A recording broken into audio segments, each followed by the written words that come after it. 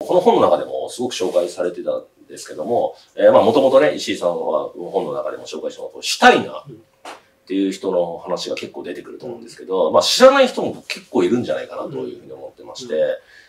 なんかそのシュタイナーに影響を受けた理由と、うん、あともしちょっとでもいいんで、シュタイナーってどういう人なのかちょっと軽く。僕はその専門家でないので、はい、シュタイナーどうこうって語れる、あの、力量はないんですけど、はい、ただ僕はものすごく影響を受けたというか、はい、一番しっくりきた。んですね。その、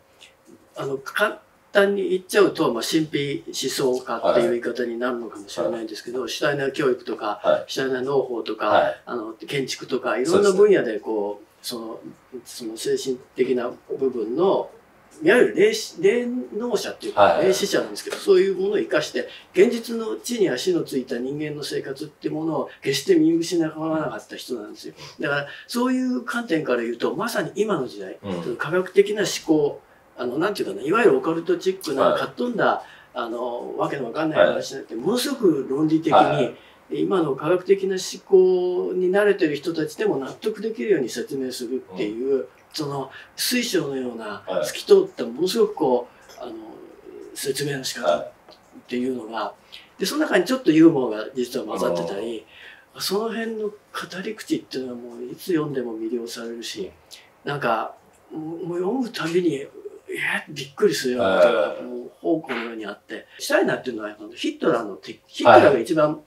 恐れていた存在なんですね。そういう意味では今の時代のその邪悪なる時代の中で、シュタイナーに相当するような、その立ち位置の存在っていうのが、やっぱ求められているんじゃないかなっていうように思っていて、その中の微力ながらも、何かその考え方を僕なりに、僕のこう、体を通したものとして、表現できたらな、というふうな思いでいますね。だから別に盲信してるわけではないし、信仰してるわけではないんだけど、やっぱりなんかこう、すべてにこう、しっくりくるんですよね。で、今本当に必要な考え方だっていうふうに思うで、シュタイナー教育でも基本的にはその障害者教育っていうところをベースにあると思ってて、はい、そういう人たちに、あの、優しい目線を持ってるっていう、うん、そういうあり方っていうのはすごく今の時代に欠けてきてるところかなと。うん、かあの先ほど言った、はい、強者、強者とか、勝ち組とかっていうものが、それ以外の人たちを見下げるっていう時代は明らかに間違っていると思うし、そうなってきた時に、なんかそういう考え方にもう一度なんか立ち戻るべきなんじゃないかなっていう思いがありますね。そうですね。だからそのね、これをご覧の方も、まあ、主体な教育、日本だったら主体な教育っていう言い方が結構有名なのかなっていうふうに思うんですけど、本当にアメリカとかでも、まあ、そういう学校とかも結構、まあ、流行ってるって言ったんですけど、結構まあ有名だと思うんですよね。その教育の仕方としての、なんか、いくつかのうちの一つとして有名なぐらい、えー、になってるので、だから本当にね、多くの人に興味を持ってもらいたいなというふうに思うし、えー、まあ石井さんとしてはこの、シュタイナーに出会ったのってどういうつなんですか？なんとなく書店を歩いていたら、はい、なんとなく気になって手に取った本っていうところですね、本当に。誰かから聞いたわけでもないし、なんとなくこう、ど、なんか気になって読み始めたっていう感じでした。で今でもこう繰り返し読み続ける。もちろんです。はい。なんか、あればでいいんですけど、まあ、とりあえずこっから読めみたいな。基本的には主体で四大史料って言われてるものがあって、はい、全部文庫本になってますけど、はい、それを、まず、面白いことに、その、それぞれカラーが違ってて、どっから入りやすいかっていうのがあるんですよ、そうすると4冊になってる4冊、あの、4、それぞれ 4, 4, つの作品があって、で、それを自分はこの本が好きだなと思って、うん、そこから入っていくと、じゃあ他のものがなっていうふうに広がっていくっていう作りなんで、うん、その、そこから入るといいんじゃないかなと思いますね。じゃあその、しょっちゅうというか、このなんか自分が原点に立ち返る時じゃないですけど、そういう時にいつも読んでいく、ね、そうですね。まあ、というかもう毎日いつも、あ、本当ですはい。でもそれって結構こう、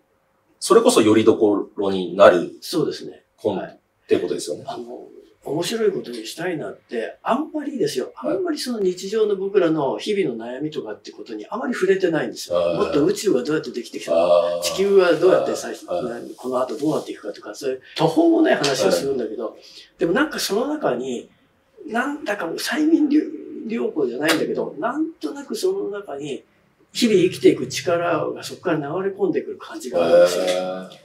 で、読むこと自体がその霊的な修行だというふうにしたいなのを言うんですけど、そこを読むだけで、なんか自分の悩みについて別に触れてないんだけど、なんかこう、生きていく力がそこから得られるみたいな、不思議な力がありますね。聖書みたいなものですね。うんまあだからまあ宗教で言えば聖書とか、まあいろんなこう宗教によってこうバイブル的なものがいっぱいあるっていうのと、中の一個として、あの、そういうもの。で、まあ実際その今のこの、まあ、ス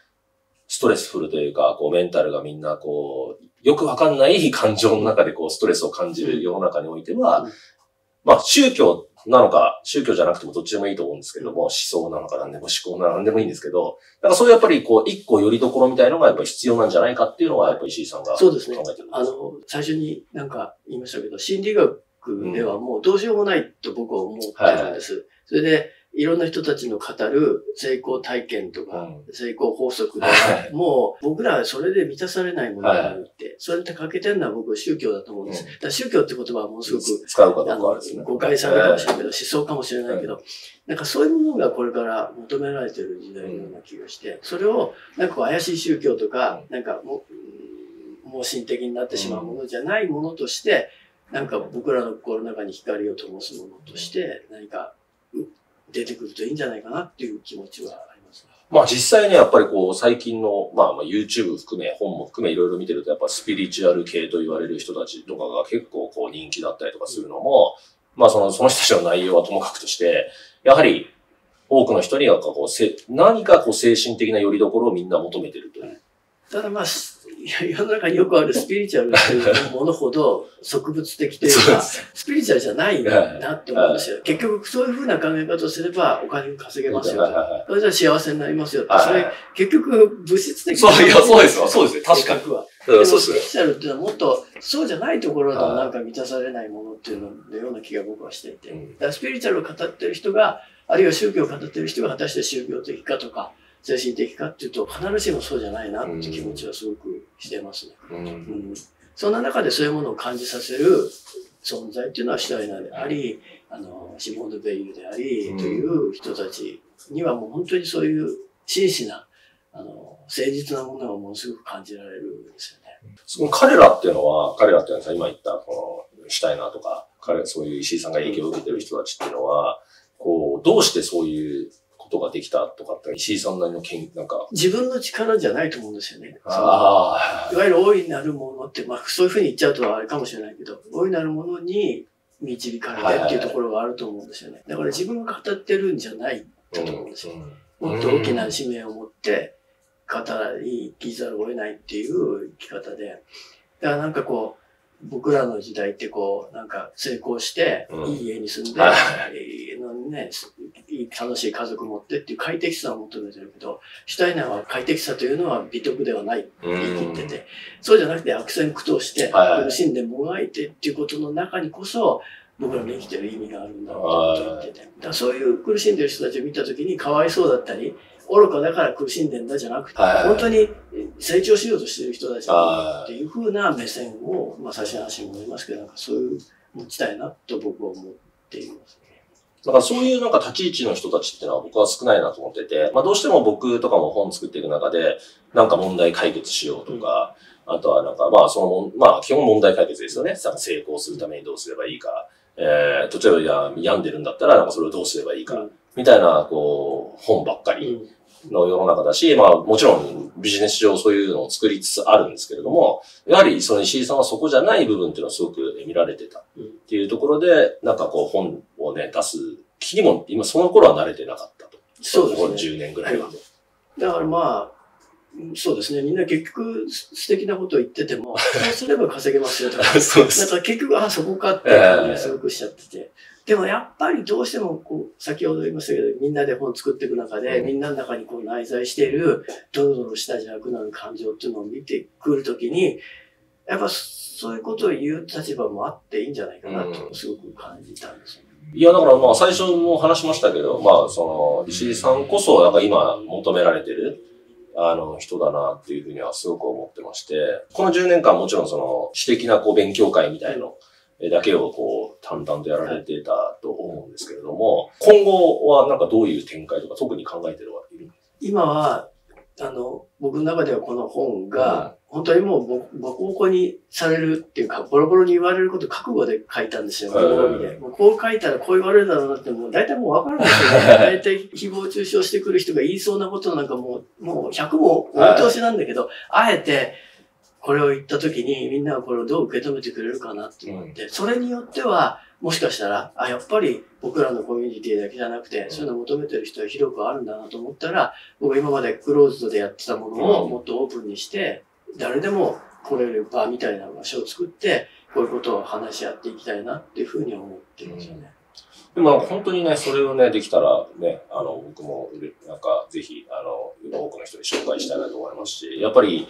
えー、まあ本当に僕も今いろんな方と関わるようになって、本当にこの独立して10年経って、やっぱここ特に2、3年ですよね。本当に若い子たちだったりとか、そのお子さんを持つお母さんたちとかと関わることが、まあここ本当に2年ぐらいで一気にそほとんどがそういう人たちだけになっていったんですよね。その前ではどっちかというとビジネスより、えー、だったんですけれども、だからその中でやっぱりこう石井さん的なあの考え方っていうのはやっぱすごく重要だなと思って、どうしてもなんか今の世の中ってもう、もうみんなお金じゃないとかもなんとなく分かってて、学歴じゃないとか分かってんのに、でもそれを、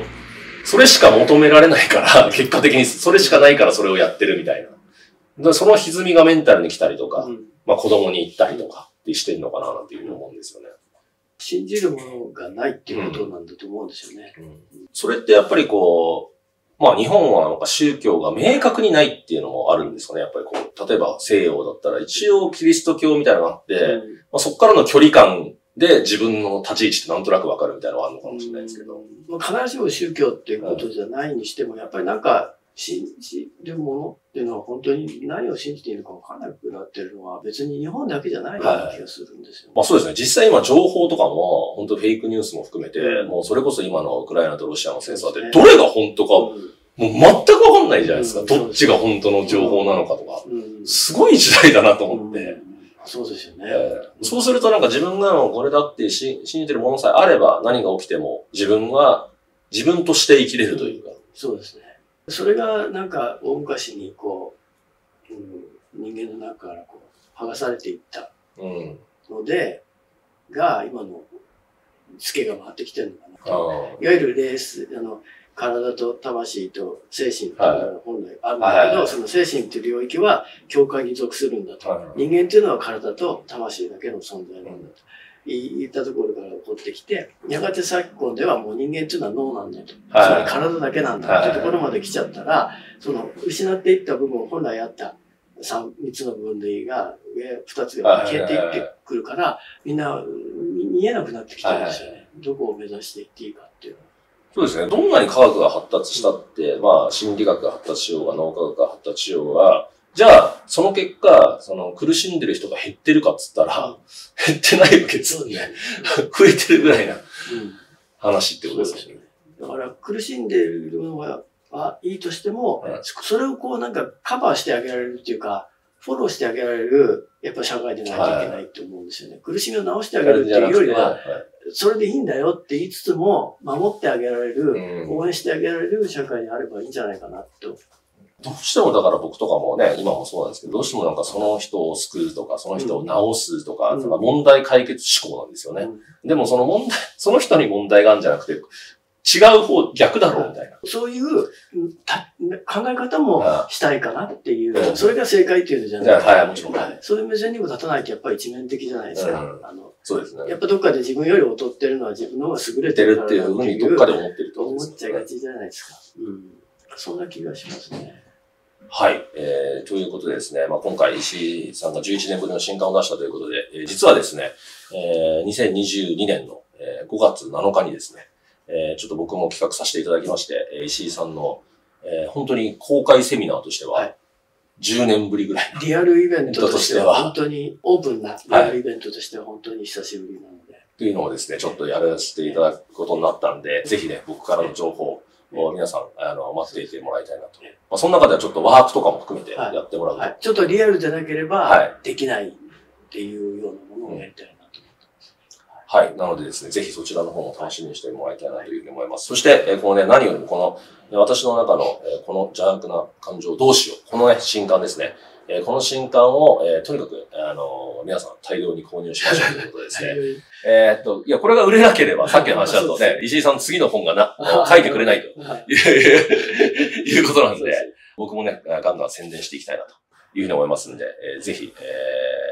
ー、こちらもね、読んでいただければなというふうに思います。なんか最後石井さんの方からメッセージあはい、あと、4月27あ、そうですね。7日に。はい。はい、4月27日に丸善丸の内本店さんの、はい、オンラインイベントですね。オンラインイベントというのをやりまして、はいはい、これもオープンな形でやるのは本当に久しぶりなので、うん、あのぜひさ、あの、アーカイブも、アーカイブも1週間見えるそうはい。ご都合のつかない方もぜひ申し込んでいただいて、あの、聞いていただけたら嬉しいなと思います。本当僕も前なんかやったことあったんで、マルゼマルのチョンってのやつは。結構ね、本当にいろんな方が見てもらえると思いますんで、あの、ぜひ、えー、そちらの方もですね、申し込みをしていただ多分ね、オンラインなんでギリギリまでも申し込めると思いますんで、で、ねはい、えー、ぜひ、あの、申し込んでいただければなというふうに思います。はい、はい、えー、ということで、石井さんとの、えー、このね、今回の新刊が出たということで、対談をさせていただきました。石井さんどうもありがとうございました。ありがとうございました。